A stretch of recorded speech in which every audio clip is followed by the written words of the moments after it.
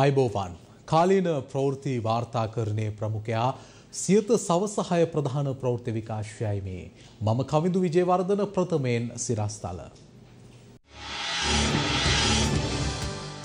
රටවල් එකසිය හතලිස එකක් රුසියාවට එරෙහිවෙයි. ශ්‍රී ලංකාව පකිස්ථානය චීනය සහ ඉන්දියාව ඇතුළු රටවල් තිස් පහක් චන්දයදීමෙන් වලකේ. රුසියාවට පක්ෂව රටවල් පහයි. ජනපතිගේ දෝස්පුරයෙන් පසු බලධහරින් හරිහරියට වැඩ. තවත් ඉන්දන නැවක් එයි. ළංගමෙන් පෞද්ගලික බස්වලට හෙට සිට ඩීසල්. උණුසුම් වූ මීගමුවේ දීවර උද්ඝෝෂණය.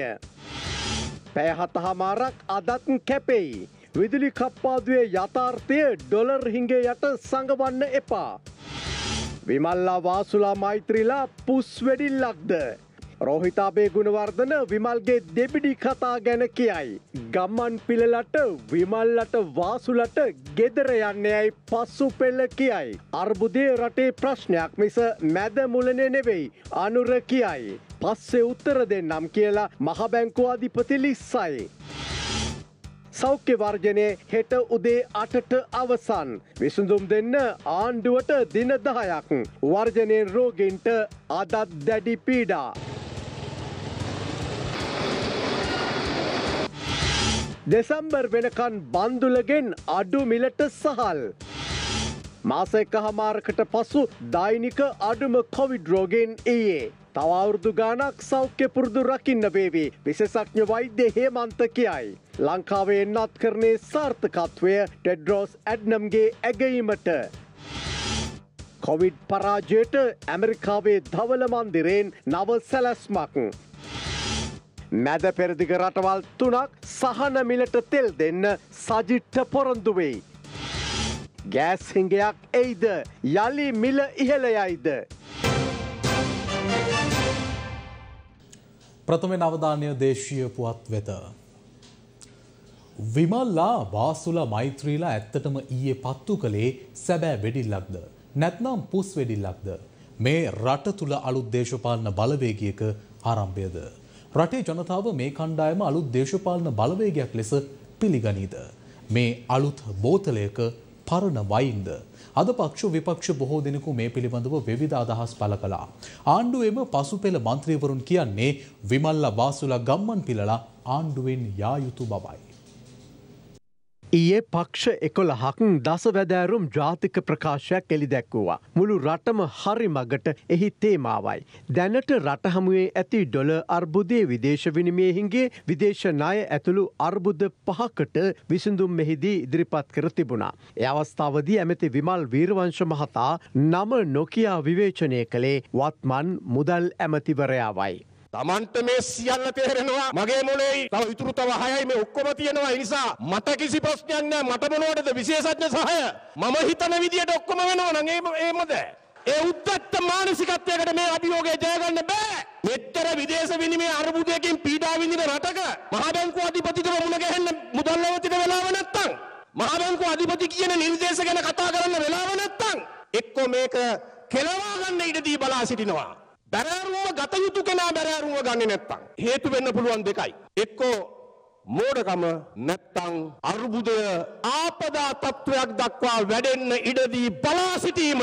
මේ අතර හිටපු ජනාධිපති මෛත්‍රපාල සිරිසේන මහතා කළ කතාවත් වැදගත්. ඔහු පැවසුවේ ආණ්ඩුවේ මැති ඇමති ඇතුළු මන්ත්‍රීවරු තිස් දෙනෙකු මෙහි පැමිණීම රජයට රතු එලියක් බවයි. මේ පක්ෂය කොළහේ පාර්ලිමේන්තු මන්ත්‍රියවරු ඉන්නවත් තිහක් වෙනම අද මේ රැස්වෙන තැනට අපිව වැට්ටෙව්වේ කවුද ඒකට අණ්ඩුවල් කියන්න ඕන. ශ්‍රී ලංකා නිදහස් පක්ෂය ඕනෑම කැපකිරීමක් කරන්න ලෑස්ති අද තිබෙන ජනතාවගේ ප්‍රශ්නවලින් ජනතාව නිදහස් කර ගැනීම සඳහා සහෝදරත්වයෙන් සියලු දෙනායකට වැඩ කරන්න. ඇමති විමල් වීරංශ මහත්තා ඊයේ කළ කතාවෙදි පැවසුවේ මුදල් ඇමතිට මහබැංකු අධිපති මුණගැසෙන්නවත් වෙලාවක් නැහැ කියලයි. ඔහු ව්‍යන්ගෙන් මොල හයක් ගැනද කතා කළා. අද ඒ ගැන මහබැංකු අධිපතිගෙන් මාධ්‍යවේදින් ප්‍රශ්න කර සිටියා. එහෙත් හෙට ඊට පිළිතුරු දෙන්නම් කියලා මහබැංකු අධිපතිතුමා අද ලිස්සලා ගියා. ප්‍රෙස් කොන්ෆරන්ස් එකක් තියෙනවා මම ඒකෙදි කියනවා. පොඩ්ඩක් සමාජ්‍යවරයා ප්‍රකාශ කරන ඔබතුමා ප්‍රකාශ කරන මුදල් අමාත්‍යවරයා අතර ගැටුවක් තියෙනවා. නෑ නෑ මම ඔක්කොම හෙට ප්‍රෙස් එකක් තියෙනවා ඒතර කතා කරමු. එහෙම එහෙම හම්බ වෙන්නේ නැද්ද මුදල් අමාත්‍යවරයා අත හම්බ වෙනවා. මුදල් අමාත්‍යව හම්බ වෙනවා එහෙනම් මේ කියන්නේ නම් විවල් නිර්වාස මහත්තයා බොරුද මේ මේ අතර සමගි ජනබලවේගේ පාර්ලිමේන්තු මන්ත්‍රී අශෝක අබේසිංහ මහතාද අද මෙවැනි අදහසක් පල කලා. මම අභියෝග කරනවා පුළුවන්නම් ඔය කිව්ව අය පුළුවන් ආණ්ඩුවෙන් එලියට එන්න ලබන සතිය නැත්තම් ලබන මාසේ ඒක වෙන්නේ නැහැ කවදාකවත් මේක රංගනයක් මේක නාට්‍යයක්. දැන් හරිමකට ගන්න දැන් ඉන්න පුළුවන් දැන් ඒගොල්ලෝ ඉන්නවා 150ක් ඉන්නවා හරිමකට ගන්න එපා. මේ හැම එකක්ම කරන්නේ ජවනතාව රැවට්ටීම. මේගොල්ලෝ මේ හදන්නේ ආණ්ඩුව රැක ගන්න. ආණ්ඩුව රැක ගැනීම ව්‍යාපාරයක් තමයි පක්ෂය කොලාම. ශ්‍රී ලංකා නිදහස් පක්ෂයත් ඒ ආණ්ඩුව රැක ගැනීමේ එකට එකතු වෙලා ඉන්නවා. ජනතාව අපහසුතාවපත් වෙලා ඉන්නවා. ඒගොල්ලෝ ආණ්ඩුවට බොරුවට බැන බැන ආණ්ඩුව ඇතුලේ ඉඳන් ආණ්ඩුවට ආවඩනවා. විමල් වීරවංශ ඇමතිවරයා එදා ජනාධිපති මෛත්‍රපාල ගැන කියපු කතාවක් අමාත්‍ය රෝහිත අබේගුණවර්ධන මහතා අද යළි මතක් කලා. දෙදස් පහළවේ ඉඳන් දෙදස් දහනමේ අවසානය වෙනකං මුළු රටම නොමගට යවපු. මුළු රටම නන්නත්තාර කරපු රට විනාස කරපු නායකයාව මූලාසනය තියාගෙන විමල් වීරවංශ උන්නහැ රම්පිට පොරි හැලෙන්න දෙනවා. අහන්න කාටද ආණ්ඩුවට. අපේ ආණ්ඩුවට ගහනවා. හැබැයි ඉන්න කැබිනට් ඇමතිවරේ. මයික් එකක් ළඟට ආව මයික් ටයිසන් වගේ හොඳට රිදෙන්න ගහනවා. කතා කරනවලු කොමේ සිරිසේන මෙහෙන්න රනිල් කතා කරනවලු කොමේ සිරිසේන මෙහෙන්න සිරිසේන කියන්නේ අලි කොටි නරි හවුලක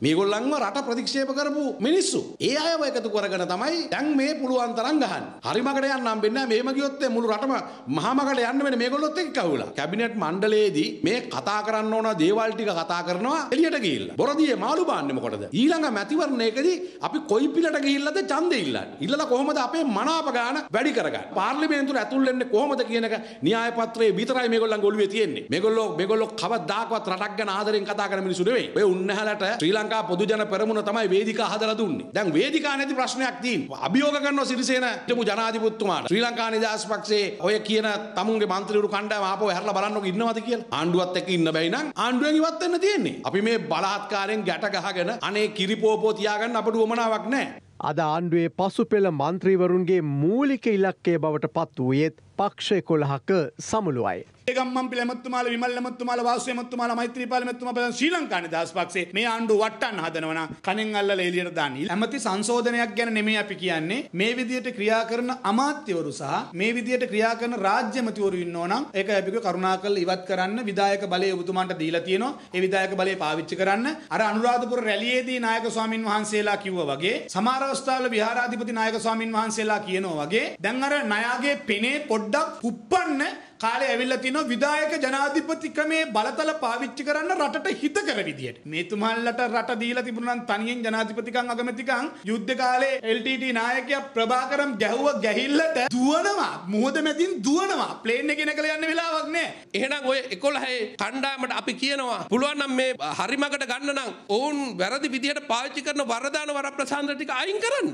ඔවුන් පාවිච්චි කරන ඔවුන්ගේ වාහන කීයක් යනවද ඔය ඔය කියන මැතිවරුන් ඉස්සරහින් පස්සෙන් ඩීසල් ගහගෙන. ඒ අය වයින් කරන්න. අයින් කළ ජනතාවට පෙන්වන්න ඔබතුමන්ලගේ ආදර්ශය. එහෙම කරන්නෙත් නැති මේ රටේ ජනතාව ගොනාට අන්දන මේ කණ්ඩායමට අපි පැහැදිලිව කියනවා ඔය කිසිම කෙනෙක්ගේ අමන ක්‍රියාවලට මේ රට ආපස්සට හරවන්න අපි ඉඩ තියන්නේ නැහැ. මේ අතර ජාතික ජනබලවේගේ පාර්ලිමේන්තු මන්ත්‍රී අනුර කුමාර මහතාද අද ඉතා වැදගත් ප්‍රකාශයක් කළා. ඔහු පවසන්නේ අද ඇත්තේ රටේ අර්බුදයක් මිස මැදමුලන අර්බුදයක් නොවන බවයි. රටේ මූල්‍ය බලය පිළිබඳ වගකීම තිබෙන පාර්ලිමේන්තුව. හැබැයි මේ මුදල් ඇමති පාර්ලිමේන්තුවට එන්නේ තේරුම් ගන්න ඕන මේ රාජපක්ෂ පවුල. මේ කඩා වැටෙන්නේ මැදමුලනේ තමන්ගේ වලව්වේ ආර්ථිකය නෙවෙයි. මැදමුලනේ තමන්ගේ වලව්වේ ආර්ථිකය කඩා වැටෙනවා නම් අපිට ප්‍රශ්නයක් නෑ ඒගොල්ලෝ ඒක විසඳගන්න. මම දන්න විදිහට ඒව කඩා වැටෙනවා ඒවා උඩ යනවා. කොමාතත්තු ඉන්නේ මේ මාණ්ඩු. දැන් මේ ප්‍රශ්න පිළිබඳ පහුගිය කාලේ ඇමතිවරු මොකද කිව්වේ? ජොන්ස්ටන් කියනවා අපිට ඇතිතරම් මුදල් තියෙන ප්‍රශ්නයක් නෑ කිව්වා. ඔබට මතකද මේමයි කිව්වේ? ඒ වගේම තව ඇමතිවරු කියනවා නෑ මේක මේ ඩොලර් නැති චූටි ප්‍රශ්නයක්.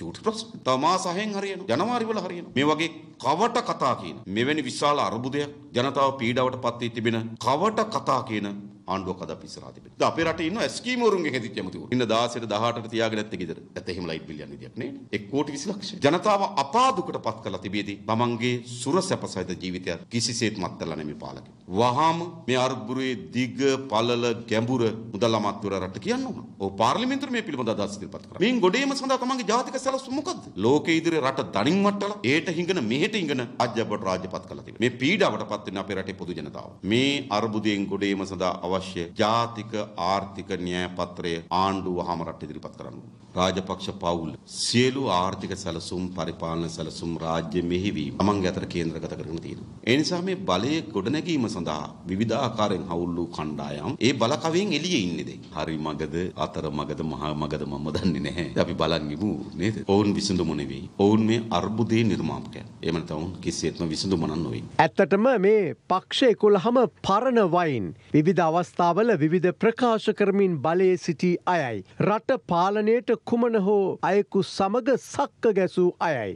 නැවගිලෙන්න යනකොට පනින මීයන්සේ හැසිරුණු අයද මේ අතර ඉන්නවා. ඇමති විමල් වීරවංශ සහ හිටපු ජනාධිපති මෛත්‍රපාල සිරිසේන යන මහත්තුරුන් දක්ෂ කතිකයින්. ලෝක බැංකුවේ ප්ලග් එක පවා ගලවන්න හදපු එක අපට තාම මතකයි. මේ අය සිය දේශපාලන ජීවිතය තුළ අතේ පැළවෙන්න පට්ටපල් බේගල් ඇද බාල තියෙනවා. ඒවගේමයි මට මතක නැහැ මම කිව්වේ නෑ මම දන්නේ නැහැ. එදාට ගැලපෙන්න්න තමයි එහෙම කිව්වෙ වැනි කතා කියන්නත් මේ සමහරුන් හරි දක්ෂයි. අද අපේ රටට අවශ්‍ය වන්නේ තවදුරටත් වේදිකාවල මයික් බදාගෙන ගිරිය පුප්පගෙන කෑගහන දේශපාලනක්ඥින් නෙවෙයි. සැබෑවටම විසඳුම් අත ඇති බුද්ධිමත් මිනිස්සුනුයි. හැම්ම දාම අලුත් බෝතල්වල පරණ වයින් දාන්න අපේ රටේ ජනතාව දැන් සූදානම් නැති බවද මතක් කළ යුතුව තිබෙනවා.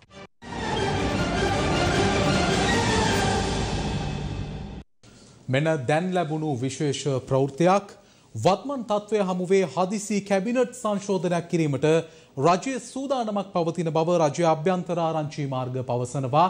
මෙන්න එම පුවත නැවතත් වත්මන් තත්ත්වය හමුවේ හදිසි කැබිනට් සංශෝධනයක් සිදු කිරීමට රජයේ සූදානමක් පවතින බව රජය අභ්‍යන්තරාරංචි මාර්ග පවසනවා. මේ පිළිබඳව නිල තොරතුරු ලද සැනින් ඔබ වෙත ගෙනීමට අප සියද ප්‍රවෘත්ති සූදානම්.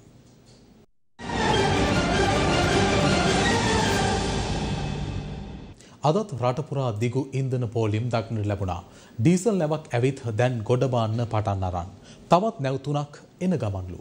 ජනාධිපති ගෝඨාභය රාජපක්ෂ මහතා ඉන්ධන හිඟයක් නැතුව ගෙන්වන්න කියලා බලධාරීන්ට ඊයේ නියෝග කළා. විදුලිය කපන්න එපා කියලත් නියෝග කළා. ජනාධිපතිතුමා නියෝග කරලා සැලැස්මවල් හදන කල් සමහර විශේවාර ඇමතිවරුන් ඉන්නේ නින්ද ගිහින් වගේ. බොහෝ අය අවදි වෙන්නේ ජනාධිපති නියෝගයෙන් පමණයි. මේ අතර මීගමු ප්‍රදේශයේ දිහිවරයින් අද කොළඹ හලාවත මාර්ගය අවහිර කළා. ඒ ඉන්ධන මිල පහත දමන ලෙස ඉල්ලමිනුයි. රට පුරා පවතින ඉන්දන හිගේ මේ වන විට උඩුදවා අවසන් හැබැයි මේ ගැටලුවෙන් පීඩාවට පත්වෙන්නේ ලොකු ලොක්කන් නෙවෙයි. එදා වෙල හම්බ කරන් කන අහිංසක අසරණ ජනතාව. පැය ගණන් දවස දෙක වනත් ඉන්දන ගන්න ජනතාව පෝලිම්වල. හැබැයි ඩොල ප්‍රශ්නයක් පිටදාලා රටේ තෙල් නැහැකිව බලධහරින් ඒ ජනාතිපති ගෝටාබේ රාජපක්ෂ මහතාගේ සාකච්ඡාවෙන් පස්සේ හිතාගන්න බැරි විදිහට වෙනස් වෙලා. ජනාතිපතිවරයා ඊයේ බලධහරීන්ට නියෝග කළේ ඉන්දන හල්විත ඉන්දන බෙදා හැරීම අද සිට සාමාන්‍ය පරිදි සිදු කරන්න කියලයි. නියෝකෙන් පැවිසි හතරක් යන්නත් කලියෙන් ඔන්න අද ඩීසල් අරන් නැවක්කාවා. ඒ ඩීසල් මෙට්‍රික්ටොන් තිස් හදහස් තුන් සියක් රැගෙනයි. අදාළ නෞකාවේ ඉන්දන අදදිනේ මුතුරාජවෙල තෙල් කපඩා පාටයන්තය වෙත නිකුත් කෙනෙනවා. ඒ අනුව රටපුරා ඉන්දන බෙදා හැරීම අද සිට ඇරමෙන බවයි බලශක්ති අමාත්‍යංශයේ මාධ්‍ය ප්‍රකාශක හා අතිරේකලේකම් චාමින්ද හෙට්ටි ආරච්චි මහතා සියතට ප්‍රකාශ කළේ. මේ අතර ඩීසල් මෙට්‍රික් ටොන් තිස් හදහස් තුන්සියක් රැගෙන තවත් නෞකාවක් හෙට මෙරටට පැමිණීමට නියමිතයි. ඊට අමතරව තවත් නෞකා දෙකක් ඉන්තන රැගෙන එරෙමෙන හය සහ නවේ යන දිනවලදීද මෙරටට පැමිණෙන බවයි බලශක්ති අමාත්‍යංශයේ අතිරේක ලේකම්වරයා ප්‍රකාශ කළේ. මේ අතර නැව්වාවත් තෙල් තිබුණත් බෙදන්න නැත්තේ හිගේ මවලත් තව තවත් මිල උස්සන්නද කියලා අද සමගී ඒකාපත්ත වෘත්තිය සමිති බලවේගේ මාධ්‍ය ප්‍රකාශක හා කැඳුම්කරු ආනන්ද පාලිත මහතා ප්‍රශ්න කළා. ඉන්නන තියෙනවනම් ගබඩාවේ තියාගෙන ඉන්නේ. එහෙනම් නැව් දහයක් ආවත් වැඩක් නෑ ජනතාව පොලිමේ නම් බස් ටික දුවන්න බැරි නම් කන්ටේනර් ටික අදින්න බැරුව එව්ව පාක් වෙලා නම් එළවලු ටික ගේන්න බැරුව ලොරි ටික මුළුවල නම් මාළු අල්ලන්න බෝට්ටු වලට මුහුදට යන්න බැරුව බෝට්ටු ටික තියෙන්නේ වෙරළේ නම් එහෙනම් නැව් ආවත් වැඩක් නෑ තොග ඇති වෙනකන් තිබුණත් වැඩක් නෑ. ලෝක ඉතිහාසෙම අලුත් ක්‍රමයක්. තෙල් තියෙනවා නැව් ඇවිල්ලා තියෙනවා ඉන්ධන පෝලින් තියෙනවා පිරුම් හල් වලට ඉන්ධන නෑ ලොරි වලට තෙල් නෑ බස් වලට තෙල් නෑ නැහැ. නා මාළු බෝට්ටු වලට තෙල් නැහැ. ඔක්කොම නැහැ. ඒ අස්සේ ඇමති කියනවා උස්සන්න කියලා. තව මොක උස්සන්නත් දන්නේ නැහැ. රටපුරා පවතින ඉන්ධන අර්බුදය හමුවේ ජනතාව තවමත් පෝලිම්වල.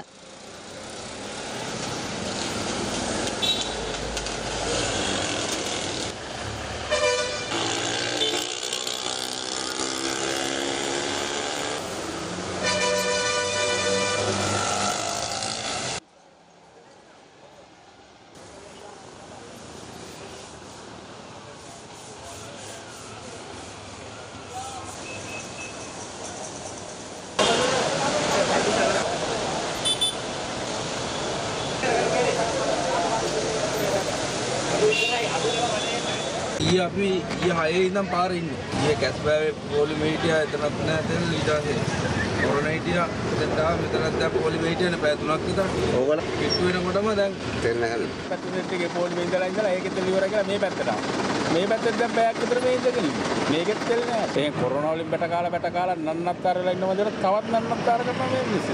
ඊයේ උදේ 6ට ආපු ගමන් තවත් පොලිමේ කියන්න දෙයක් නැහැ දැන් ඉතින් උදේ 8 ඉඳන් ඉතින් ඉන්නවා මෙතෙන් ඉඳලා තෙල් නැහැ ඉතින්. කණ්ඩත් නැහැ මෙතෙන් ඉතින් ඉන්නවා බලාගෙන. ඇඳිලා ඉන්නේ ඉතින් මේ දවස් ටිකේ දැන් දවස් ගානක් තිස්සේ මේ බෝල් රස්තා දෙනවා. ඊයේත් තමයි පෙරේදත් එහෙමයි.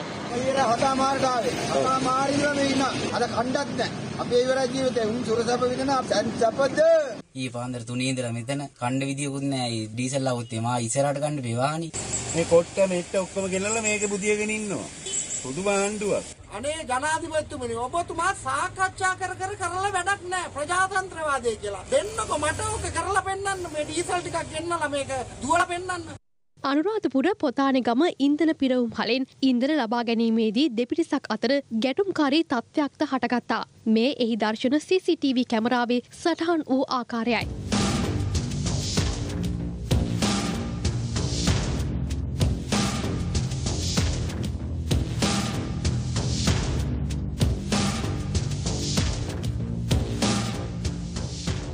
තවතුරටත් මුහුදු ගිහිල්ලා මාළු අල්ලන්න බැහැ කියලා මේගම ප්‍රදේශයේ දීවරයින් අද බෝට්ටු තියලා මහමගට ආවා.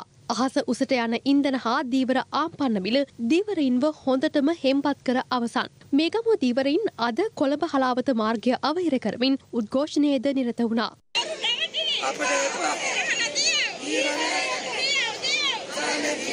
අපට පිළිතුර දෙන්න කියාපම්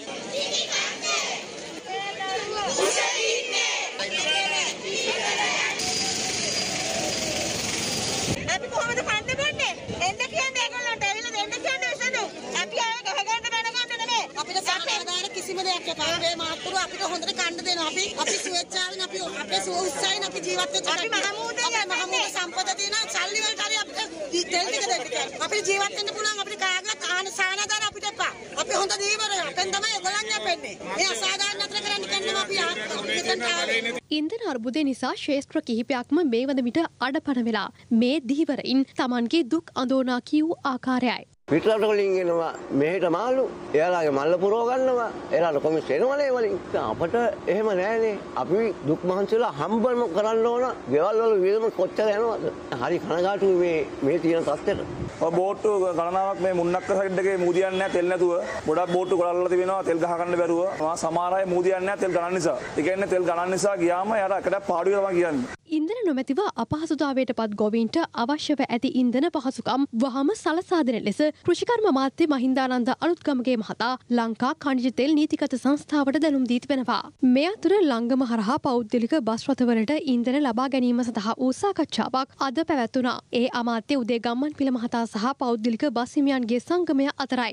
ඉන්දන ගැටලුව නිරාකරණය කර ගැනීමට හැකියාවක් ලැබුණා. බලාපොරොත්තු වෙච්ච විදිහට හෙට දිනේ අපිට ලංගම හරහා ඩීසල් ලබා දීමට කටයුතු කරනවා කියලා දැනුම් දුන්නා අමාත්‍යවරයා. මම දැන් ජනතාවට කිසිම බයක් වෙන අවශ්‍යතාවයක් නැහැ. අපිට ඩීසල් ඍජුවම ලංගම හරහා ලබා දෙන්න පොරොන්දු වුණා. ඒ වගේම පළවෙනි දෙක දෙල 24ම අපි ඉල්ලීමක් කරා අපිට ඩීසල් ලබා දෙන්න. මොකද මේ හිඟ ප්‍රශ්න තියෙන නිසා ඒක ලබා දෙන්න එකඟ වුණා අමාත්‍යවරයා. මේ අතර ඉදිකිරීම් කර්මාන්තයට ඉන්ධන අර්බුදය බලපා ඇති බවයි ශ්‍රී ලංකා ජාතික ඉදිකිරීම් කරුවන්ගේ සංගමේ සභාපති සුසන්ත ලියනාරච්චි මහතා ප්‍රකාශ කළේ. ගාල්ලට හම්බන්තොට ඉඳලා ගඩොල් ලෝඩ් එකක් ගේන්න විදියක් නැහැ තෙල් නැතුව. කොහොමද මේක කරන්නේ? වැලියෙන් නැහැ. අත්‍යවශ්‍ය අමුද්‍රව්‍ය සයිට් එකට ගෙන්න ගන්න විදියක් නැහැ. එහෙම කරන්නේ නැතුව නිලධාරි කියනවා නම් මේක කරන්න කියලා අපි නිලධාරීන්ට බාර දෙනවා මේ වැඩේ ඉදිකිරීම් ටික කරන්න කියලා කිලෝමීටර් ලක්ෂේ. ඔය අදාළ නිලධාරීන් ඉන්නවා. ඒ අයගේ මාෆියාවක්ද මන්ද මේක. හැබැයි දක්කන්න ලෑස්ති වෙන්න එපා. ඉදිකිරීම් කරුව. මේ ඉදිකිරීම් කරුවන්ට මෙහෙම යන්න බෑ. මේ තෙල් හිගය දැන් පිය වෙනවයි කියලා ඊයේ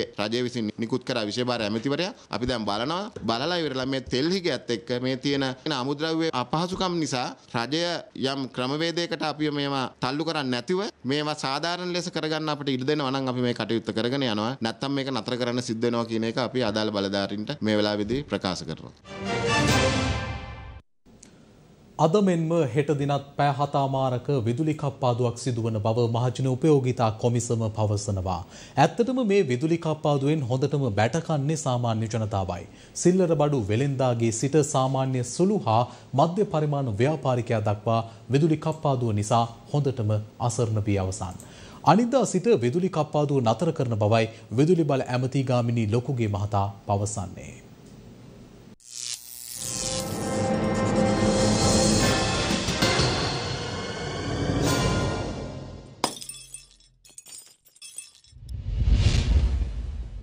පැය දෙකතුන දැන් පැය හතාමාරක් දක්වා ඇවිත්. පැය හතක් රටකට විදුලිය නැහැ කියන්නේ මොන තරම් ආර්ථික බිඳ වැටීමක්ද කියන එක මේ විදුලි කප්පාදුවට හේතු කියන බක පණ්ඩිතීන්ට තේරෙන්නේ නැද්ද කියලා මුලින්ම අහන්න ඕනේ. අප දිගින් දිගටම පවසන දෑ අදද සටහන් කළ යුතුයි. ඒ මේ විදුලි කප්පාදුවට ආසන්න හේතුව ඉන්දන නැතිකම වුණත් යථාර්ථය ඊට වඩා ගැඹුරුයි කියලයි.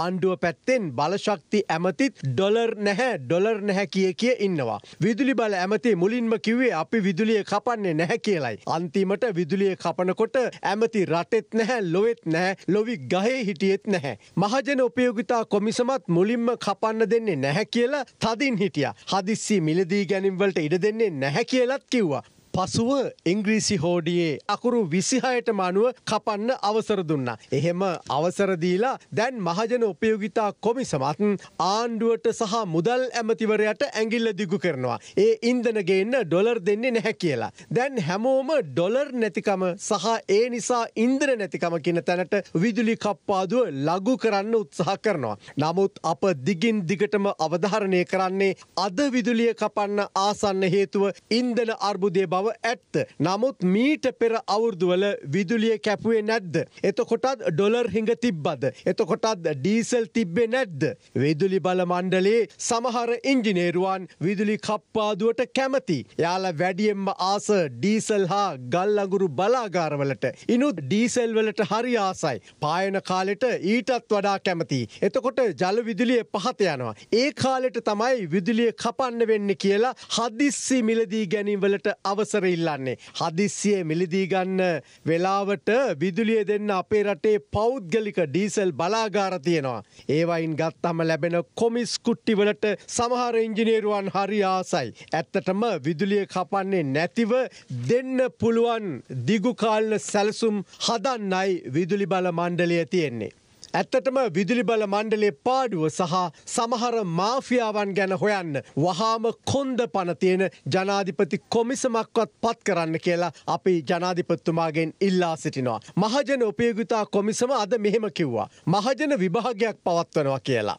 එක එක අවස්ථාවල එක එක පාර්ශ්වයන්සින් කිව්වා මේක කඩාකප්පල්කාරී ක්‍රියාවක් කියලා ඒ පදනම අනුව තමයි අපි මේ මහජන විභාගයද පවත්වන්නේ මේක පළවෙනි පාට තමයි ලංකාවේ ඇති වෙන්නේ අද හරි මේ අවාසනාවන්ත දවසක් ඒ කියන්නේ ඊයේ යදයි පය හතහමාරක පමණ කාලයක් අපිට අපි අකමැත්තෙන් විදුලි කප්පස් සඳහා අවසර දීමට සිදු වුණා මම හිතන්නේ මහජනතාවට අදත් හෙටත් අනිද්දාත් මේ මේ දවස් දෙක තුනේ ප්‍රශ්නයක් තියෙයි හැබැයි ලබන සඳුදායෙන් එළඹෙන සතියේ ඉඳන් මම හිතන්නේ අපිට ලස් බැස්ස ලැබෙන තාක්කල් මේ තත්වය කළමනාකරණය කරගෙන අඩුම අඩුම කාලයක් විදුලිය කපාගෙන ඉදිරියට යෑමේ අඩුම අම වශයෙන් මහජනතාවට විදුලි කප්ප සිදු කරලා මේ තත්ත්වය අපිට කළමනාකරණය කර ගැනීම හැකියාවක් මැදින් අපිට තියෙනවා. ඇත්තටම මේ ඉන්දන දීලා තාප බලාගාර ක්‍රියාත්මක කරන කෙටි සැලසුම්. දැනට දෙන්න පුළුවන් විසඳුම ඒක බව ඇත්ත. ඒක හරි. නමුත් විදුලි බල ඇමතිතුමනි ආයේ මෙහෙම වෙන්නේ නැතිවෙන්න. විදුලි උත්පාදනයට තියෙන දිගුකාලින සැලසුම් මොනවද කියලා දැන්වත් රටට විවෘතව කියන්න. මේ විදුලි කප්පාදුවෙන් අසරණ වුණු ජනතාවගේ වේදනාවයි.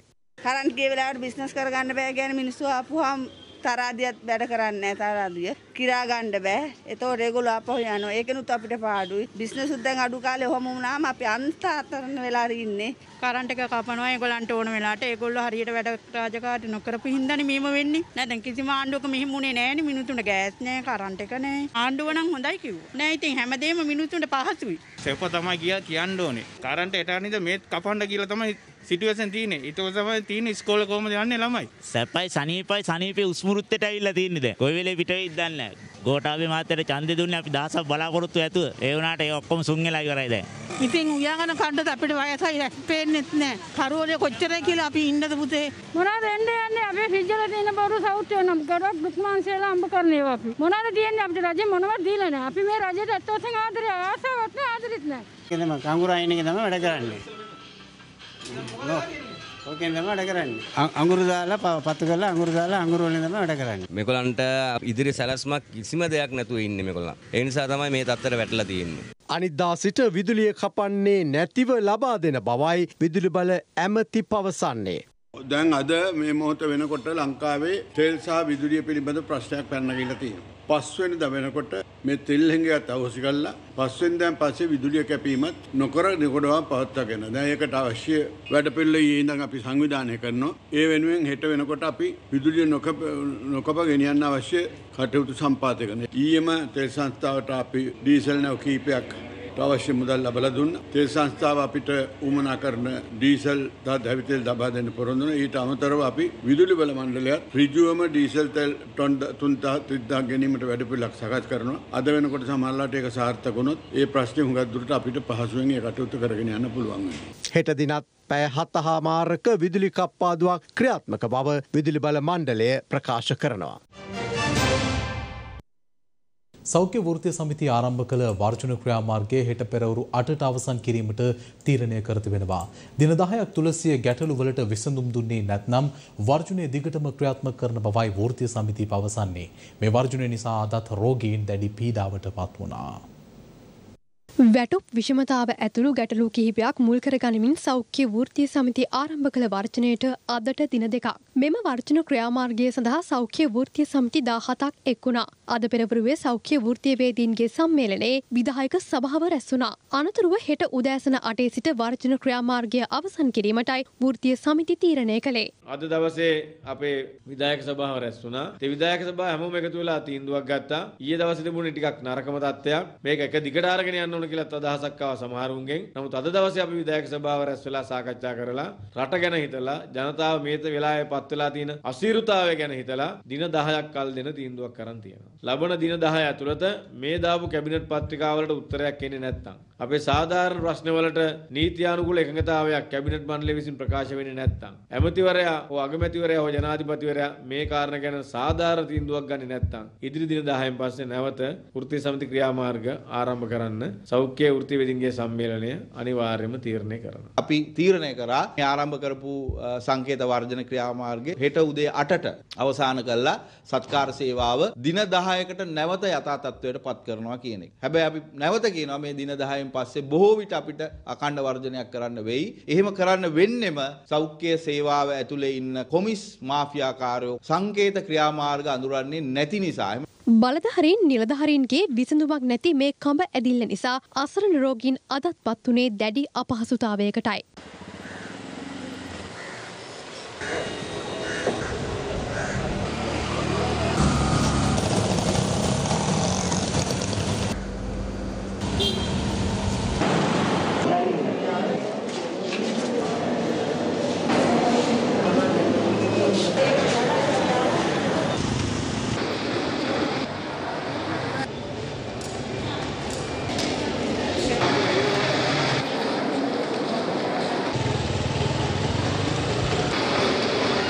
ඉතින් මේක හරි අසාධාරණ වැඩක් තමයි. ඉතින් මිනිස්සු අසරණ වෙනවා රෝගී මේකයි. ඉතින් මොනවද කරන්නද ඉතින් අපිත් ඈත ඉඳලා ඇවිල්ලා ඉන්නවා ඉතින්. අනේ මේක නම් නිකන් නරක වැඩක් ඉතින් නේද මොකද මේ ලෙඩ්ඩුනේ දුක් විඳින්නේ මොකද අපිට ආයි තව මාසයක් බලන් ඉන්න වෙනවනේ මම හිතන්නේ රජය මේ ස්ට්‍රයික් එකට රුකුල් දුන්නා. කරන්න පෙළඹෙන්නේ රජය. පහුගිය කොරෝනා තියෙන කාලේ අපකැපීමකින් වැඩ කළා. සෞඛ්‍ය ක්ෂේත්‍රයට විශේෂ හුම්කම් දීමක් කරන්න ඕන රජය. ශ්‍රී ලංකාවේ කොවිඩ් මර්ධන එන්නත් කරණය ලොවටම ආදර්ශයක් බව ලෝක සෞඛ්‍ය සංවිධානයේ ප්‍රධානී ටෙඩ්‍රොස් ඇඩ්නම් මහතා පවසා තිබෙනවා. ඒ ලෝක සෞඛ්‍ය සංවිධාන මූලස්ථානයේදී රාජ්‍ය අමාත්‍ය චන්න ජයසුමන මහතා ඇතුළු පිරිසක් සමග පැවති සාකච්ඡාවකට එක් වෙමිනුයි. COVID-19 වෛරසය පාලනය කිරීමට ශ්‍රී ලංකාව අනුගමනය කළ වැඩපිළිවෙල ඊටාම සාර්ථක බවත් සංවිධානාත්මක එන්නත් කරන්නේ මුළු ලොවටම ආදර්ශයක් බවත් ලෝක සෞඛ්‍ය සංවිධානය ප්‍රධානී ටෙඩ්රොස් ඇඩ්නම් පවසනවා. ඒ ස්විට්සලන්තයේ ජිනීවානුවර ලෝක සෞඛ්‍ය සංවිධාන මූලස්ථානයේදී රාජ්‍ය මාත්‍ය මහාචාර්ය චන්න ජයසමුණ මහතා සමග පැවති සාකච්ඡාවේදී. ජනාධිපති ගෝඨාභය රාජපක්ෂ මහතා එන්නත් කරන වැඩපිළිවෙල සාර්ථක කර ගැනීමට පෞද්ගලිකවම මැදිහත් වී දැක් වූ දායකත්වයක් සෞඛ්‍ය ආරක්ෂක අංශ සහයෝගෙන් අභියෝගයට මුහුණ දීමත් ශ්‍රී ලංකාවේ එන්නත් කරන වැඩස්ථාන සාර්ථක වීමට හේතු බවයි රාජ්‍ය මාත්‍ය චන්න ජයසමුණ මහතා මෙහිදී ප්‍රකාශ කළේ. දින හතලිස් පහකට පමණ පසු අඩුම දෛනික කොවිඩ් රෝගීන් ඊයේ වාර්තා වුණා. ඒ රෝගීන් හත්සිය පනස් එක් දෙනෙකු ලෙසයි. ඒ අනුව මෙරට සමස්ත කොවිඩ් රෝගීන්ගේ සංඛ්‍යාව හය ලක්ෂ හතලිස් අදහස් හයසිය අනු නවයක් දක්වා ඉහළ ගොස් තිබෙනවා. පවතින තත්ත්වය හමුවේ තවත් වසර ගණනාවක් නිසි සෞඛ්‍ය උපදෙස් අනුගමනය කිරීම අත්‍යවශ්‍ය බවයි විශේෂඥ වෛද්‍ය හේමන්ත හේරත් මහතා ප්‍රකාශ කළේ. අපිට මේ රෝගය සාමාන්‍ය රෝගයක් වෙන්න හැටියට ඉදිරියේදී වෙන්න ඉඩ තියෙනවා. නමුත් ඒ සඳහා අපිට තවදුරටත් මහජන සෞඛ්‍ය ප්‍රශ්නයක් හැටියට අපිට ගණන් ගැනීමට නොහැකි තරමට එහෙම නොගත යුතු ප්‍රමාණයට පල්ලෙහා බැහින කල් අපිට මේ සියලුම සෞඛ්‍ය පුරුදු සහ නව සාමාන්‍යයන් අනුගමනය කිරීම කරන්නම වෙනවා. සමහරට තව ඉදිරි අවුරුදු ගණනාවක් යනකල් මේ ක්‍රමවේද දිගටම කරගෙන යන්න ඕනේ. එහෙම නැත්නම් ඕනෑම වසංගතයකින් පස්සේ නැවත නැවතත් චක්‍රානුකූලව සුළු සුළු වසංගත ඇතිවන්නට ඉඩ තියෙනවා. විශේෂයෙන්ම ඒ සෞඛ්‍ය පුරුදු සම්පූර්ණයෙන්ම එකවරම අතහැරියොත්. සීල දෙනාම දැඩි අවධානයෙන් සිටීම වැදගත් වෙනවා. මේ අතර මිලිග්‍රෑම් පන්සියක පැරසිටමෝල් පෙත්තක උපරිම සිල්ලර මිල රුපියල් දෙකයි ශත තිහක් බවට ප්‍රකාශ කරමින් අති විශේෂ ගැසට් නිවේදනයක් නිකුත් කර තිබෙනවා. සෞඛ්‍ය අමාත්‍ය ආචාර්ය කෙහෙලි රඹුක්වැල මහතාගේ අත්සනින් යුතුවයි මෙම ගැසට්ටුව නිකුත් කර ඇත්තේ. එය පසුගේ විසි අටවනදා සිට බල පැවැත්වෙනවා.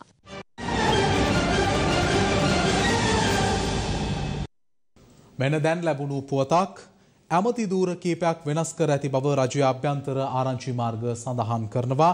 ඒ අනුව ඇමති විමල් වීරවංශ මහතා දැරූ කර්මාන්ත ඇමති දූරයෙන් ඔහුව ඉවත් කර ඇති බවයි නිල නොවන තොරතුරු වාර්තා කරන්නේ. එමෙන් මුදේ ගම්මන් පිළ මහතා දැරූ බලශක්ති අමාත්‍ය දුරයෙන් ඔහුවද ඉවත් කර තිබෙනවා.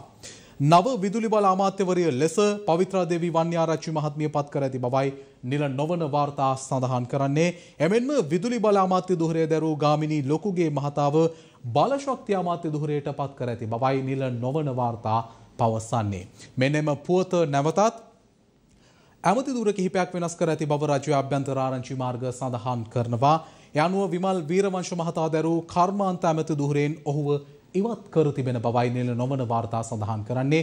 එමෙන්ම උදේ ගම්මන් පිළ මහතා දැරූ බලශක්ති අමාත්‍ය ධූරයෙන් ඔහුවද ඉවත් කර තිබෙන බවටයි තොරතුරු වාර්තා වන්නේ. නව විදුලි බල ඇමතිවරය ලෙස පවිත්‍රා දේවී වන්‍යාරච්චි මහත්මිය පත් කර ඇති බවයි නිල නොවන වාර්තා පෙන්නුම් කරන්නේ. එමෙන්ම විදුලි බල අමාත්‍ය දුහරේ දැරූ ගාමිණී ලොකුගේ මහතාව බලශක්ති අමාත්‍ය දුහරයට පත් කර තිබෙනවා. රජයේ නිල දැනුම්දීම් ලද වහාම ඔබට නිල තොරතුරු ලබා දීමට අප සියත ප්‍රවෘත්ති කණ්ඩායම සූදානම්. දැන් කෙටි විරාමයක්. ලබන සතිය වන විට නැවත ගෑස් හිඟයක් ඇතිවිය හැකි බව ලාෆ් ගෑස් සමාගමේ සභාපති WKH වෑගපිටිය මහතා පවසනවා. පවතින ඩොලර් හිඟය නිසා ණයවර ලිපි නිකුත් කිරීමේ අර්බුදය ගෑස් ගෙන්වීමට බාධාවක් වී ඇති බවයි ඔහු පවසන්නේ. පසුගිය කාලය පුරාම් අපේ රටේ ප්‍රධාන මාතෘකාවක් බවට පත් වනේ ගෑස්. ගෑස් හිඟේසේම ගෑස් ආශ්‍රිත පිපරීම්ද දින පතා ප්‍රවෘත්ති මවනු ලැබවා. ගෑස් හිඟේ නිසා බොහෝ හෝටල් වැසී ගියා. ඒ අතර තමයි සංයුතිය වෙනස් කළ ගෑස් ආශ්‍රිත පිපරීම්ද වාර්තා වුණේ. ඒ පිපරීම් වලින් ජීවිත පවා අහිමි වුණා. අදටත් ඒ කාටවත් වන්දි ගෙවල නැහැ. එදා පැය ගණනක් ගෑස් පෝලිම්වල ඉන්න ජනතාවට සිදු වුණා. විශේෂයෙන් නාගරික ජනතාව ගෑස් හිඟේ නිසා අන්ත අසරණ වුණා. දැන් ආයෙත් පෝලිම්වල ලගින්න වේවිද. මේ අනාගත ගෑස් හිඟේ ගැන අද ලෆ්ගෑස් සභාපතිවරයා කළ අනතුරු ඇඟවීමයි. වර්තමානයේ ඇති වෙලා තියෙන මේ විදේශ විනිමය අර්බුදයත් එක්ක අපිට ණයවර ලිපි ලංකාවේ වාණිජ බැංකු වලින් ලබා ගැනීමේ අපහසුතාවයක් ඇති වෙලා තියෙනවා. ලබන සතිය විතර වෙනකොට ලංකාව පුරාම නැවත වතාවක් ගෑස් හිඟයක් ඇතිවීමේ දැඩි අවධානමකට ලක් වෙලා තියෙනවා. දැන් සති කිහිපයකට කලින් මුදල් අමාත්‍යවරයා හම්බ වෙලා පෞද්ගලිකව ඉල්ලා සිටියා පිට අවශ්‍ය තරම් ණයවර ලිපි ලබලා දෙන්න කියලා. මාසකට ඩොලර් මිලියන 15ත් 20ත් අතර ප්‍රමාණයක් සාමාන්‍ය කාලවලදී අපිට අවශ්‍යයි ලංකාව තුළට ගෑස් ආනයනය කිරීම. ලෝක වෙළඳ පොලේ ගෑස් මිල ඇමරිකානු ඩොලර් 111ටත් වැඩි ප්‍රමාණයට වැඩිලා. මේ ලෝක වෙළඳ පොලේ ගෑස් මිල වැඩිවීමත් සමගම සහ නැව් ගාස්තු වල ප්‍රමාණය වැඩිවීමත් එක්ක අපිට ආනයනය කරන්න පුළුවන් ගෑස් ප්‍රමාණයත් අඩු වෙලා තියෙනවා. තෙල් රටට ආනයනය කිරීම ප්‍රමුඛතාවය නිසා යම් මට්ටමකට ගෑස් වලට අපිට ණයවර ලිපි ලැබෙන්නේ අඩුවක් තියෙනවා. ලෝක වෙළඳ පොලේ ගෑස් මිල ගිය මාසයට සාපේක්ෂව ඩොලර් 135කින් වැඩි වුණා. දැන් අලුතෙන් ආනයනය කරනවා නම් මිල පිළිබඳව අනිවාර්යයෙන්ම අපිට සංශෝධනයකට සාකච්ඡා කරන්න වෙනවා. අත්‍යවශ්‍ය භාණ්ඩ මිල පාලනයකින් තොරව ඉහළ යමින් තිබෙනවා. විශේෂයෙන් ලබන මාසය තුළ සහල් කිලෝවක් කිලෝවක මිල රුපියල් දෙසියත් තුන්සියත් අතර මිලකට යා හැකි බවටයි පුරෝකතන පලපුනේ. ඊට මුහුණදීම සඳහා වෙළඳ අමාත්‍ය බන්දුල ගුණවර්ධන මහතා සූදානම් වනවා. මේ වසරේ දෙසැම්බර් දක්වා සම්බා කිලෝවක් රුපියල් එකසිය විසි අටකටත් නාඩු සහ කැකුළු කිලෝවක් රුපියල් එකසිය පහකටත් ලබා දෙන බවයි ඇමතිවරයා පවසන්නේ. මේ අතර රටපුරා කොළු බඩු වෙළඳසැල් විවෘත කිරීමට රාජ්‍ය අමාත්‍ය ජානක වක්කුඹර මහතා පියවර ගනිමින් ඉන්නවා. දැනටමත් අත්‍යවශ්‍ය බහන්ඩ මිල පවතින්නේ අහසටත් උඩින් බව අමුතුවෙන් කිව යුතු නැහැ. ඩොල හිංගේ ඩොලරය අගේ ඉහළයාම සහ ඉන්දන හිංගේ බහන්ඩ මිල තව තවත් ඉහළයන්න හේතු වෙලා. විශේෂයෙන් පසුගේ කන්නේ වී අස්වැන්න බරපතල ලෙස පහත වැටී අවසන්. ඒ ඇති වූ රසායනික පොහොර හිංගේ පදනම් කරගෙනයි. එළවෙන්නේ උත්සව සමයයි. සාමාන්‍ය අවුරුදුවලදීත් උත්සව සමයේ බහන්ඩ මිල ඉහළයාම සාමාන්‍යයෙන් සිදුවනවා. නමුත් එළමෙන අප්‍රේල්වලදී තත්ත්වය ඉතා භයානක විය හැකි. සහල් කිලෝවක් රුපියල් දෙසීයත් තුන්සියත් අතර මිලකට යා හැකි බවයි බොහෝ අය උපකල්පනය කරන්නේ. මීට මුහුණදීම සඳහා සහල් මිල ස්ථාවරව පවත්වාගෙන යාමට වෙළඳ ඇමති බන්දුල ගුණවර්ධන මහතා සූදානම් වනවා. ඒ සඳහා සහල් ආනයනයටද සූදානම් බවයි ඔහු පවසන්නේ. මම මේ රටේ ජනතාවට සහතිකයක් දෙනවා. මොන ප්‍රශ්නය ඇති වුණත් නැව් ගාස්තු වැඩි වුණත් කන්ටේනර් ගාස්තු වැඩි වුණත් ලෝක වෙළඳ පොලේ මිල වැඩි වුණත් මේ වර්ෂයේ අවසන් වන තෙක් සතොස මගින් සම්බසහල් කිලෝවක් රුපියල් 128කටත් සමහර විට ඊට වඩා අඩු කරන්න පුළුවන් සමහර අවස්ථාවලදී නාඩු කිලෝවක් කැකුළු කිලෝවක් රුපියල් 105කටත් අලෙවි කරනවා. සහල් මිල රුපියල් 300ට ගෙනියනවා කියපු වැඩපිළිවෙල කවදාක්වත් මේ මහ පොළොවේ යථාර්ථයක් කරන්න අපි ඉඩ තියන්නේ නැහැ. මේ අතර දේශීය කුළුබඩු සඳහා නව වෙළඳපළ අවස්ථා හඳුන්වා දෙමින් සිටින බව රාජ්‍ය මාත්‍ය ජානක වක්කුමර මහතා පවසනවා. අපි මේ රටේ සෑම ගොවි මහත්මයෙකු වගා කරපු කහ ටික රජේ මිලට ගැනීම ආරම්භ කරලා තියෙනවා. සාමාන්‍යයෙන් දවසකට 1,30ක් විතර මේ වෙනකොට කහ මිලට ගන්නවා. මම මේ රටේ ඉන්න සියලු ව්‍යාපාරික ප්‍රජාවෙන් ඉල්ලනවා අපේ ගොවියා වවපු ඒ අස්වැන්න මිලට ගන්න ඒ සාධාරණ මිලක් දීලා ගන්න කියන ආයාචනයක් කරනවා. මැද පෙරදිග රටවල් තුනක් සහනදායි මිලට තම පාලනයක් යටතේ ඉන්ධන ලබා දීමට කැමති වූ බව විපක්ෂ නායක සජිත් ප්‍රේමදාස මහතා පවසනවා. ඒ ආල ප්‍රදේශයේ පැවති වැඩසටහනකට එක් වෙමිනුයි.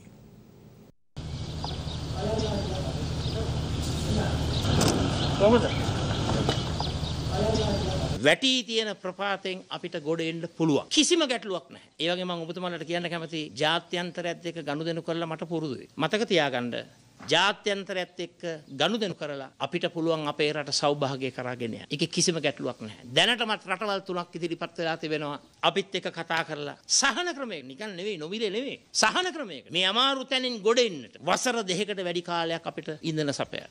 හැබැයි ඒ විදේශීය රටවල් කවදාවත් මේ රජයත් එක්ක ගනුදෙනු කරන්න සූදානම් නැහැ. ඉතින් අද අපිට සිද්ධ වෙලා තිබෙන්නේ රටක් හැටියට එක වෙලාවකට මේ එදා වේල ටුවර්ස් විසඳුම් ලබා දෙන්න අපි යනවා ඩොලර් හිඟමනේ. එක වෙලාවකට බංග්ලාදේශයට ගිහිලා වැඳ වැටෙනවා අනේ ඩොලර් මිලියන 200ක් තියෙනවා ඕක දැන් නම් අය කරගන්න එපයි කියලා වඳිනවා. හරි මේ සූර වීර ලංකා. ඊට පස්සේ යනවා පාකිස්තානෙට. අනේ කෑම ගන්න ඩොලර් දෙන්න කියලා. ඊට පස්සේ යනවා කටාර් වලට. මිත්‍රවරුනි තෙල් ප්‍රශ්නෙට විසඳුම් ලබා දෙන්නට කිසිම රටක් ඉදිරිපත් වෙලා නැහැ මේ මොහොත වෙනකම්. අපි සතුව තිබෙනවා ඒ විසඳුම්. මේ අතර නව බල ශක්ති අමාත්‍යවරයා ලෙස දිවුරුම් දුන් අමාත්‍ය ගාමිණී ලොකුගේ මහතා සිය දිවුරුම් දීමෙන් අනතුරුව මාධ්‍ය හමුවක් ඇඳවා තිබෙනවා එම මාධ්‍ය හමුව වෙතයි දැන් අප යොමු වන්නේ. දැන් තමයි අමතෙච්ච අලුත් එකක් හම්බ වෙනකොට දැනගත්තේ දිවුරුව.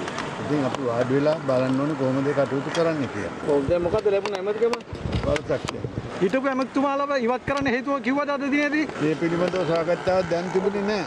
අවදිගුරුතුමනි. විදුලි අමාත්‍යාංශයේ පවිත්‍රවන්නේ ආරක්ෂණ ගත්තා. තවත් අමාත්‍යාංශ දෙකක් වෙනස් වෙන මම කවුද කියලා දන්නේ නැහැ. එස්.පී. සේනානායකතුමාට මොනවද? ඇවිල්ලා ඉන්නවා මම දන්නේ මම දැනගෙන හිටියේ නෑ යට මොකද්ද ලැබෙන්නේ කියලා. දිනේෂ් ගුණවර්ධන මහතාට දිනේෂ් ගුණවර්ධන මහතාත් ඇවිල්ලා ගියා මොකක්ද ලැබෙන්නේ කියලා මම දැනගෙන හිටියේ නෑ. ශ්‍රී ලංකා ක්‍රිකට් කණ්ඩායමට ලාහෝරේදී ත්‍රස්ත ප්‍රහාරයක් එල්ල වී අදට වසර දහතුනක් ගත වනවා. වසර දහතුනකට පෙර ඒ අමිහිරි බිහිසුණු මතකය ගැනයි මේ සටහන. එදා සංචාරක ශ්‍රී ලංකාව සහ පාකිස්තානය අතර දෙවන ටෙස්ට් තරගේ තුන්වන දිනයයි. තරගයට සහභාගී වීම සඳහා ශ්‍රී ලංකා ක්‍රිකට් ක්‍රඩකින් රැගත් බස්රථය ගඩාෆි ක්‍රීඩාංගනයට ළඟා වෙමින් තිබුණා. නමුත් ගඩාෆි ක්‍රීඩාංගනය පෙනෙන මානේ මීටර් පන්සියක් තිබියදී ශ්‍රී ලංකා ක්‍රිකට් ක්‍රීඩකීන්ට නොසිතූ අත්දැකීමකට මුහුණ දීමට සිදු වුණා. ටී පනස් හය වර්ගේ තුවක්කු රැගත් ත්‍රස්තවාදීන් පිරිසක් ශ්‍රී ලංකා ක්‍රඩකින් රැගත් බස්රථයට වෙඩිපිට වෙඩි තබන්නට කටයුතු කළා. වහම ක්‍රියාත්මක වූ පාකිස්තාන පොලිසියද තුවක්කුකරුවන්ට ප්‍රතිප්‍රහර එල්ල කළද ත්‍රස්තවාදීන්ගේ අවි පොලිස් අවියට වඩා එම අවස්ථාවේ ප්‍රබල වුණා. ශ්‍රී ලංකා ක්‍රඩකින් සිටි බස්රථයේ රියදුරා ත්‍රස්තවාදී වෙඩි උණ්ඩ මධ්‍යයේ කෙසේ හෝ බස්රථය ධාවනය කළා. ඒ ගඩාෆි ක්‍රීඩාංගනය තුළටයි. ඒ වන විටත් බස්රථයට සහ බස්රථයේ රෝධවලට දැඩි හානි සිදු වී තිබුණා. ප්‍රහාරයෙන් ශ්‍රී ලංකා ක්‍රීඩකින් හය දෙනෙකු සුළු තුවාල ලැබුවත් පාකිස්තාන පොලිස් නිලධහරින් හය දෙනෙකුට සහ සිවිල් වැසියන් දෙදෙනෙකුට සිය ජීවිතය අහිමි වුණා. ගඩාෆි ක්‍රඩාංගනය වෙත බස්රථය රැගෙන ගිය පසු වහම ක්‍රියාත්මක වූ නිලධහරින් ශ්‍රී ලංකා ක්‍රඩකින් ගුවන් මගින් එමස්ථානයෙන් රැගෙනයාමට කටයුතු කළා. එදිනම ශ්‍රී ලංකා ක්‍රඩකින් දිවයිනට රැගෙනීමටත් පියවර ගත්තා. මෙම ප්‍රහාරයෙන් ශ්‍රී ලංකා ක්‍රිකට් ක්‍රඩකින් එදා දිවි ගලවා ගැනීමට සමත් වූයේ නිර්භීතව එම අවස්ථාවේ ක්‍රියා කළ මෙහාර් මොහොමඩ් කලීල් නම් රේදුරු මහතාගේ එඩිතර ක්‍රියාව නිසායි. ඔහු එම අවස්ථාවේ බස්රථය දිගටම ධාවනය කළේ නැත්නම් අද මෙම ප්‍රවෘතිය මීට වඩා වෙනස් වන්නට තිබුණා. එම වීරක්‍රියාව නිසා මොහොමඩ් කලීල් නම් රියදුරු මහතා පාකිස්තාන පුරවැසියකුට පිදෙන නිර්භීතම සම්මානය වන ටැම්ග් අයි සුජාත් සම්මානයෙන්ද පසු කාලීනව පිදුම් ලැබවා. අදට එම ලාහෝර් ප්‍රහාරය එල්ල වී වසර දහතුනක් පිරෙනවා. ප්‍රහාරය පිළිබඳව එකල විවිධ මතවාද ලෝකය පුරා ප්‍රචුලිත වුණා. අදටත් එම ප්‍රහාරය පිළිබඳව විවිධ මතවාද පවතිනවා. අවසානයේදී ප්‍රහාරය වගකීම ලශ්කාරා ඒ තයිබා නම් සටන්කාමී සංවිධානය වෙත පැවරුණා. ප්‍රහාරයේ වගකීම කුමන සංවිධානය වෙත පැවරුණත් යුද්ධය සහ අවිය අවසානයේ ඉතිරි කරන්නේ කඳුලක් පමණයි. මේ වසර දහතුනකට පෙර එම අමිහිරි අත්දැකීම අප සමග බෙදාගත් ශ්‍රී ලංකා හිටපු ක්‍රිකට් ක්‍රඩක අජන්ත මෙන්ඩිස් මහතා. ඇත්තටම කිව්වොත් ඒ වෙලාව එතන කාටවත් අදාගන්න බැරි වුණා. මොකද සියලු දෙනාම තරංගයට බස් එකේ යමින් සිටියේ. ඉතින් කවුරුත් හිතුවේ නෑ වගේ පහරයක් එයි කියලා. හය දෙනෙක් හත් දෙනෙක් විතර තුවාල වුණා. වැඩියෙන්ම ගොඩාක් ඉන්ජරි උනේ මටයි තිලාන් සමර වීරටයි. සහ තරංග පාරමිතානික ඇත්තටම තත්ත්වයේ උණ්ඩයක් තිබ්බා. ඉතින් උගුණු කරුවාගේ ඇත්තේ උණ්ඩයක් තිබ්බා. ඒතර මමයි තිලාන් සමර වීර මාස එකමාරක් වෙන කාලයක් හොස්පිටල් එකේ නැවතලා හිටියා. ඉතින් ඒ ඔක්කොම මතක් ඇදී ඇත්තටම දැන් නම් හිතා ගන්න බෑ. ඉතින් මේ වගේ දෙයකින් බේරුණ එක ඇත්තටම ලොකු දෙයක්. ඒ කාලේ අපි එහෙම දෙයක් හිතුවෙත් නෑ. අපි ක්‍රීඩා කරන ගමන් ක්‍රීඩාංගණයට යන ගමන් තමයි මේක වුණේ. ඉතින් අපි කවුරුත් අදා මේ හිතා ගන්නවත් බැරි දෙයක් වුණා. ඉතින් දැන් ආපසු බලද්දී අවුරුදු 13කට පස්සේ ඉතින් මට තාමත් ස්තුතිවන්ත වෙන්න වෙන්නේ අපේ රියදුරුතුමාට තමයි. විශේෂයෙන්ම ඔහු නැත්තම් අද ශ්‍රී ලංකා කණ්ඩායමේ හිටපු ක්‍රීඩකයන් පස්ස දෙනෙක් නැති වෙන්නත් අවස්ථාවක් තිබුණා. ඉතින් ඇත්තටම අවස්ථාවක් ලැබුණොත් ඔහුට ස්තුතිවන්ත වෙන්න ඕනේ. පුවත් නිමයි සුබ දවසක්. දෙනපතා අලුත් වීඩියෝ සහ ප්‍රවෘත්ති නැරඹීමට ඉහත බටන එක ක්ලික් කර සියත TV සබස්ක්‍රයිබ් කරන්න.